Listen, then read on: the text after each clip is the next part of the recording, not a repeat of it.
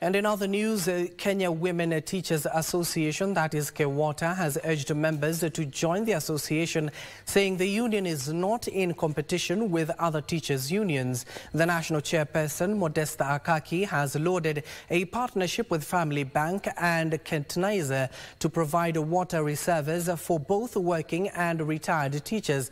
Akaki noted the big uptake of the program since its launch two months ago, saying it will support other ventures for teachers, especially at the grassroots level.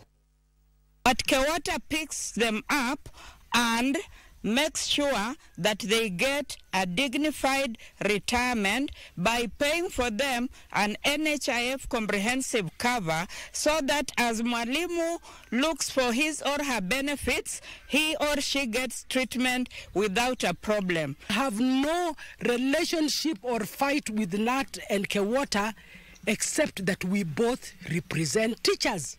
As simple as that.